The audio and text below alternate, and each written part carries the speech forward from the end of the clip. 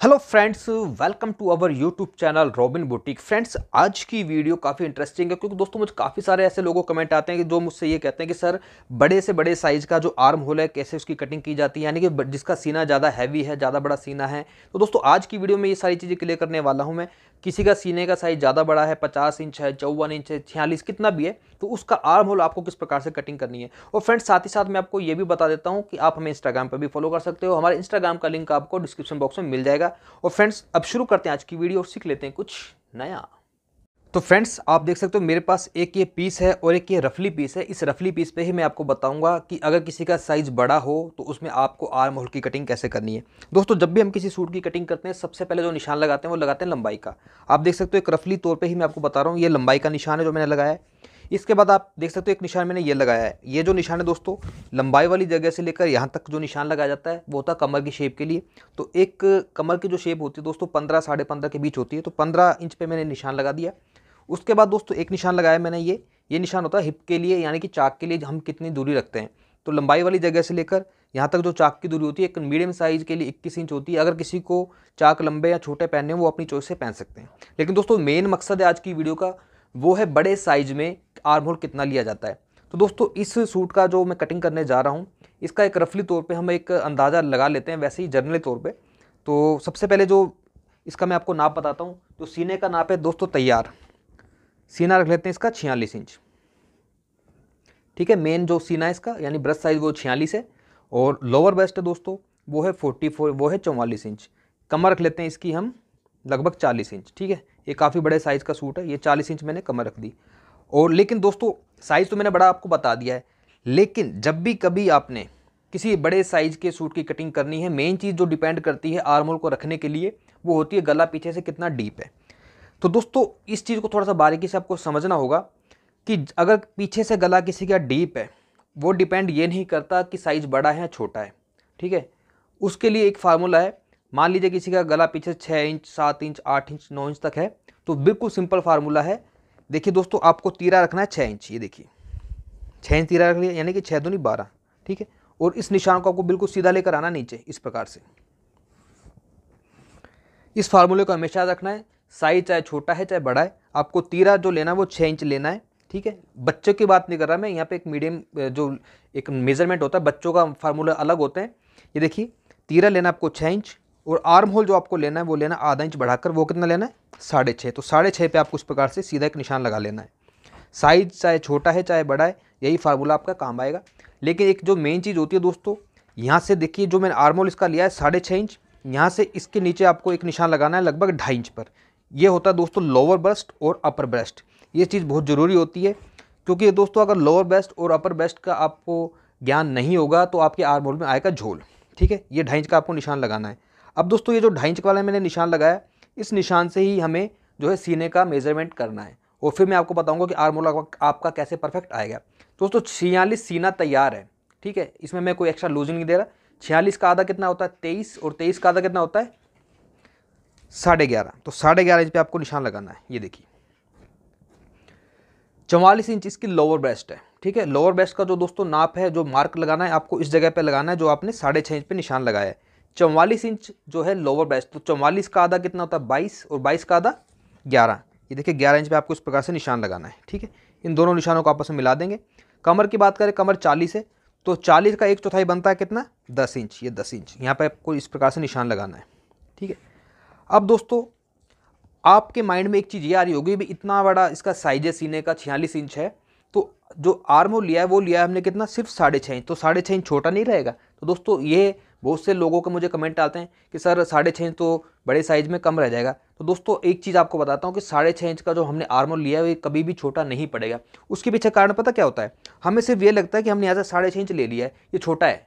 लेकिन दोस्तों, जब इसकी हम गुलाई करते हैं ना, ये देखिए, यहाँ से एक एरो को निशान लगाना है। यहाँ से दूरी लेनी है आपको डेढ़ इंच, ठीक है? और जब हम इसकी गुलाई करेंगे, ये गुलाई दोस्तों मिलेगी कहाँ पर जाके? ये देखिए। हल्के हल्के डॉट लगाता हूँ इस तरह से मैं। और ये देखिए, ये यहाँ पर जाके मिल रहा है। यानी कि इस प्रकार से दोस्तों यहाँ से तो हमें लगता है कि साढ़े छः हम जो आर्म ले ले, ले लेते हैं छोटा लगता है। लेकिन दोस्तों यहाँ से भी तो देखो इस जगह से इसकी जो लंबाई बढ़ रही है। तो जब इसकी मैं कटिंग करूँगा कटिंग करने के बाद फिर इसका मैं आपको पूरा एक रूप दिखा देता हूँ कि आर्मोल किस प्रकार से इसका परफेक्ट आएगा कैसे बढ़ेगा। तो दोस्तों सबसे पहले इसकी करेंगे कटिंग ये देखिए कटिंग आपको कैसे करनी है? लंबाई वाले निशान से हल्का से इधर से आपको डाउन करना होता है। ये देखिए ये आधा इंच जो है हम डाउन लेते हैं वो लेते हैं। इसका इसको स्लोप भी बोलते हैं। क्योंकि दोस्तों, हर किसी का बॉडी स्ट्रक्चर ऐसा होता है, चाहे लेडीज़ हो, चाहे जेंट्स हो, जो तीरा होता है या जो शोल्डर होता है, थोड़ा सा इस प्रकार से डाउन में होता है तो इसलिए हल्का सा इसको डाउन लिया जाता है आधा इंच उसके बाद यहाँ से करेंगे कटिंग इस निशान पर सिलाई आ जाएगी। थोड़ा सा एक्स्ट्रा कपड़ा लेना होता है। मान लो कभी किसी ने लूज़ करना हो तो उसके लिए दोस्तों ये फार्मूला ज़रूरी है। तो इसको थोड़ा मैं नीचे की तरफ़ ले जाता हूँ। एक अंदाजे से ये रख लेते हैं इसका हिप साइज़ ये देखिए।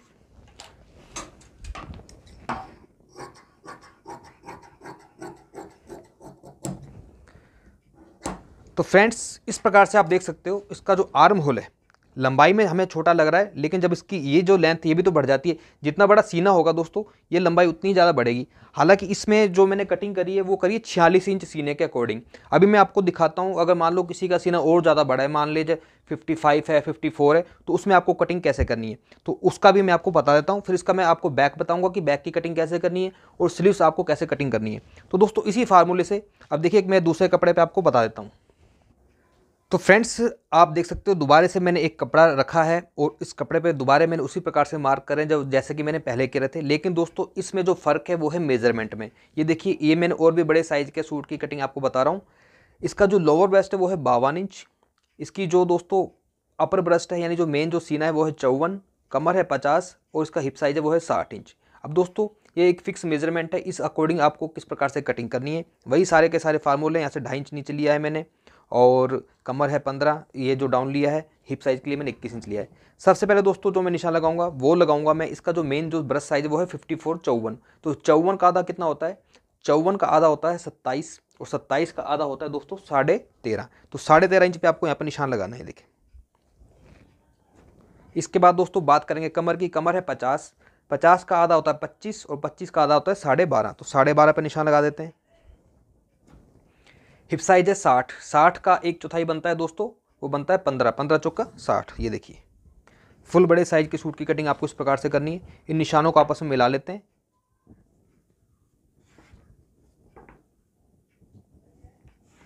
यहाँ पे दोस्तों, जो अपर ब्रस्ट यानी जो चौवन इसका सीना है, उस हिसाब से जो इसके लोअर बेस्ट है, वो रखी है मैंने, दो इंच का, वो है बावन। तो बावन का एक चौथाई बनता है दोस्तों, तेरह। तो यहाँ पे आपको तेरह इंच पे निशान लगाना है इस प्रकार से।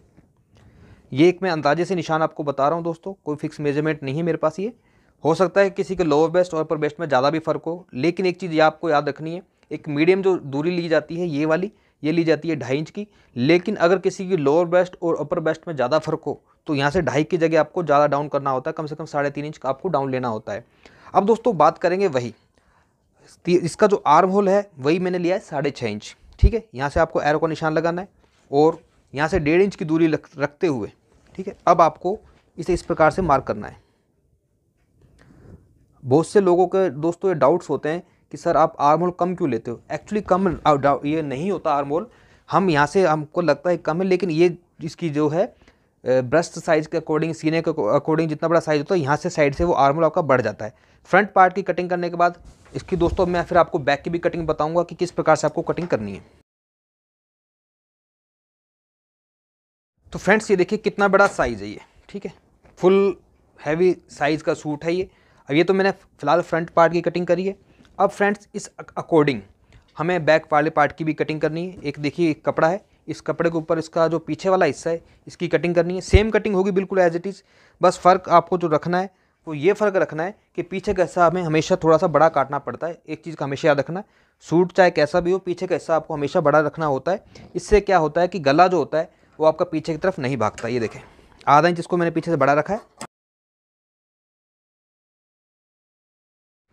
फ्रंट बैक की मैंने कटिंग कर ली है। अब फ्रेंड्स ये देखिए, जो फ्रंट वाला पार्ट होता है, एक चीज़ हमेशा याद रखनी आपको। इसकी जो हम जब कटिंग करते हैं, आगे पीछे एक साथ करते हैं, ऐसे डेढ़ इंच की दूरी लेते हैं। लेकिन जब हम फ्रंट वाले पार्ट की कटिंग करते हैं तो ये जो आर्म होल है, हमें थोड़ा सा इसको अंदर की तरफ़ से इस प्रकार से कटिंग करनी होती है देखें। लगभग आधा से पौन इंच इसकी एक्स्ट्रा कटिंग करनी होती है। फ्रंट वाले आर्म होल की, ये देखें, इस प्रकार। तो फ्रेंड्स, ये देखिए, अब आपको लग रहा होगा कि साढ़े छः आर्म होल बहुत छोटा है, लेकिन ये चीज़ देखें, ये कितनी बड़ी है, ठीक है? अब ये चीज़ आपको कैसे क्लियर होगी?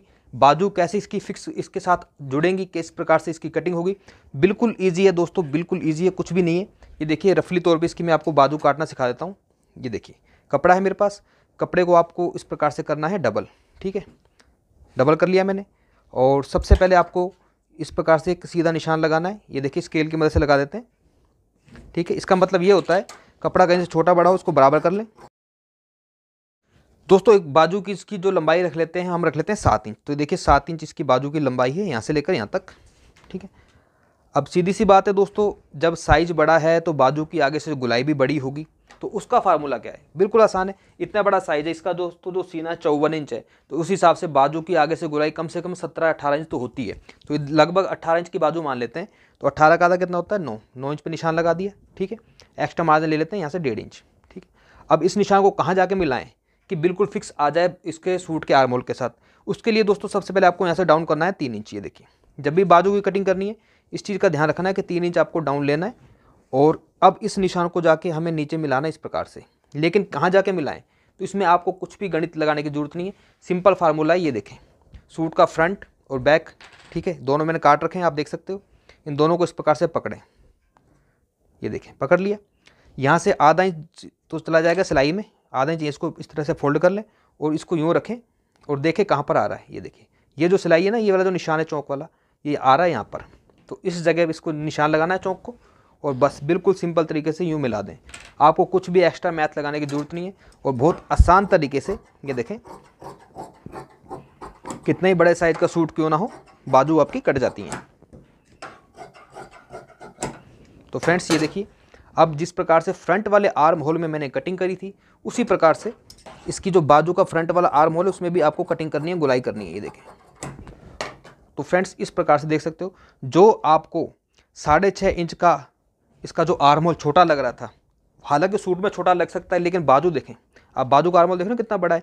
तो अब दोस्तों, वो कारण यही होता है कि हमें जजमेंट नहीं हो पाता, हम सोच हम तो सिर्फ़ साढ़े छः इंच को ही ध्यान रखते हैं कि भाई साढ़े छः इंच है जो वो ठीक है। लेकिन दोस्तों, उसकी जो आर्म होल की जो लंबाई है ना, वो पता कहाँ से बढ़ती है? वो बढ़ती है साइड से। अब वो चीज़ आपको क्या सूट पे समझ नहीं आ पाती, इसलिए मैंने बाजू की भी कटिंग करी है।